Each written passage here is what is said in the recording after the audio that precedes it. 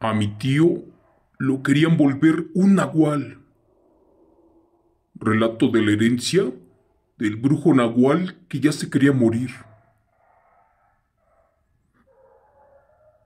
Mi padre me contaba que a mi tío, su hermano menor, una voz horrible, como de un demonio, lo llamaba por las noches y le pedía que se saliera al monte y que lo siguiera. Al principio los abuelos y mi padre pensaron que el niño estaba enfermo y no le hicieron mucho caso.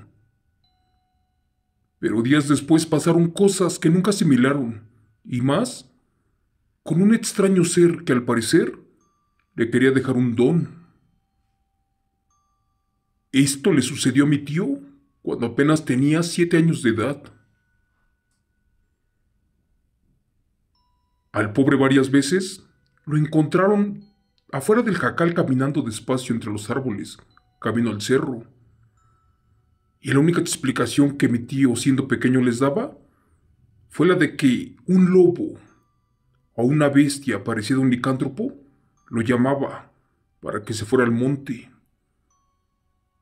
Cuando los tíos más grandes y el abuelo salían al campo, estos no se daban cuenta que su hermano menor ya se había parado e iba para el cerro. En ese momento la abuela tenía que correr por su hijo y cuenta que en una ocasión antes del amanecer vio a un horrible lobo, un ser carcomido y con lepra, cuando se lo estaba llevando de la mano. Asustada la abuela comenzó a discutir con este ser. Le pedía que lo dejara en paz. Y fue allí que supo por qué motivo le pasaba todo esto.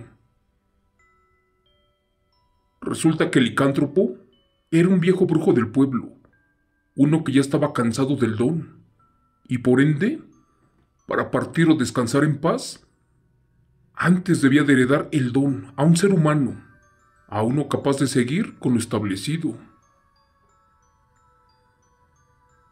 En ese momento estaba por amanecer, y por eso la bestia no se llevó a mi tío, y tampoco atacó a la abuela, la cual arriesgó su vida por la de su hijo menor.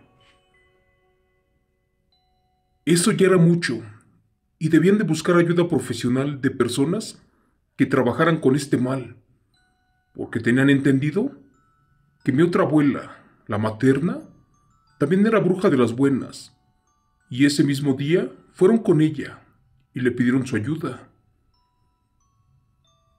Al principio lo despojó, lo limpió y le retiró parte de ese aire aquel que le dejó el nahual.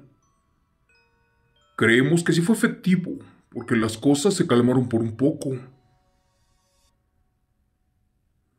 Mi madre nos contó que la abuela fue de las mejores curanderas, también bruja y partera, pero además una gran conocedora de muchos secretos y plantas. Una que también tenía un fuerte don para entender e interpretar los sueños y ver cosas. Más aparte, se podía convertir supuestamente en un animal. Dicen que quitarle el nahual a mi tío no fue fácil, y más porque éste era renuente, ya que hizo todo lo posible por sacar a mi tío de su cama para llevárselo al monte, para iniciarlo en el mundo del nahualismo. Una noche, la abuela se escondió atrás de su casa, esperando a la bestia, para pactar con ella, a cambio de la tranquilidad del niño. Pero esto se salió de control, y el nahual la comenzó a lastimar, pero de una manera salvaje.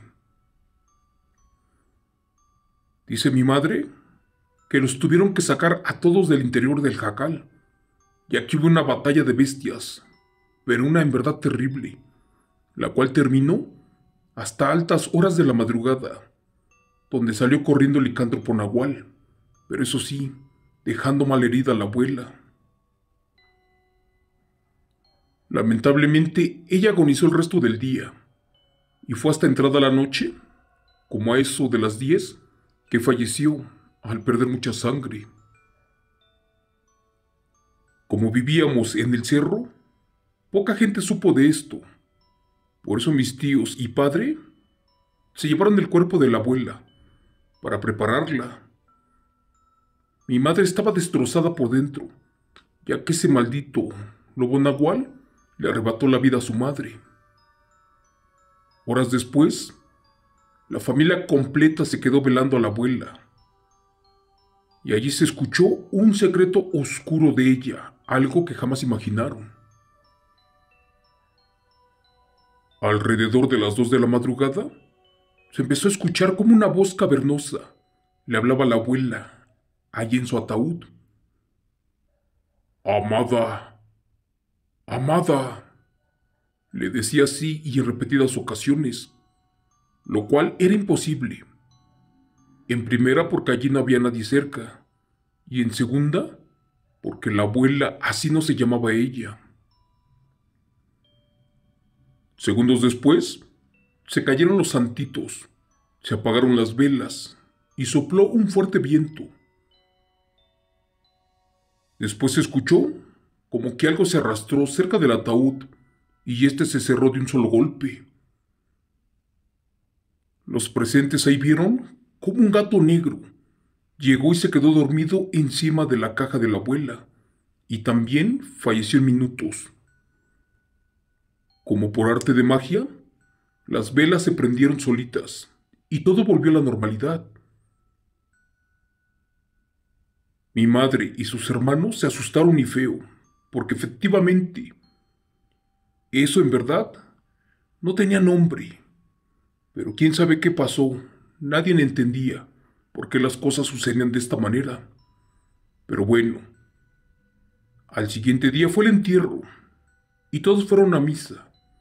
Y cuando el padre estaba diciendo algo de la Biblia, éste les hizo recordar un pasaje escrito allí, donde dice la familia que les contaron una leyenda del pueblo, donde refería que si un animal se acercaba a tu caja en tu, en tu velorio, era porque el dueño del nahual debía de liberar a su protector.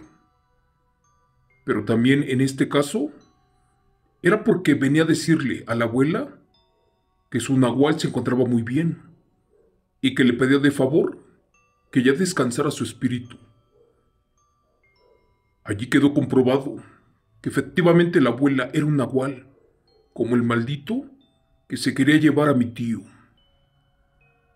Pero eso no acabó allí, porque meses después a mi mamá le estaban haciendo brujería. Esa vez mi madre ya se estaba muriendo entonces papá y una tía la llevaron con otro brujo para curarla. Y resulta que camino a casa de este, se les cruzó un lobo y les impedía el paso. Pero no solo eso. De una manera extraña, este animal se les quería meter a la camioneta por la ventana e intentaba atacarlos a toda costa.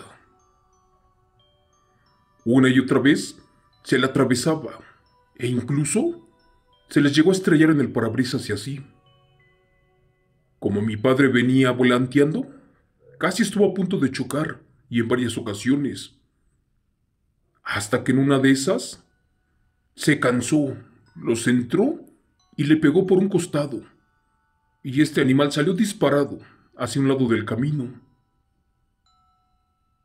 Como pensando que tenía rabia, lo remató pasándole las llantas por encima del pesado carro.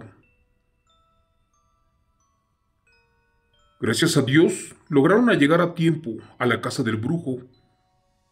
Este atendió a mi madre y les dijo que se tenía que quedar con él un par de días para curarla. Después les dijo un secreto, diciéndoles que en un par de días iban a saber quién rayos era ese lobo nahual y por qué no les permitía pasar con él. En efecto, a los dos días pasó frente a la casa un vecino, uno que también era curandero pero de los malos, solo que éste llegó en muletas, enyesado y fracturado, porque supuestamente lo habían atropellado. Pero al final de cuentas se supo que él era el famoso Nahual, aquel que los estuvo molestando por meses, y el mismo que se llevó a la tumba a la abuela.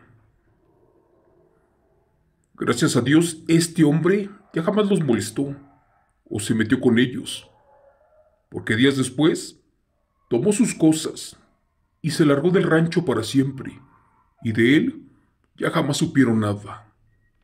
Gracias. Relato escrito y adaptado por Chimo San Juan de los eventos reales de la familia López Hernández.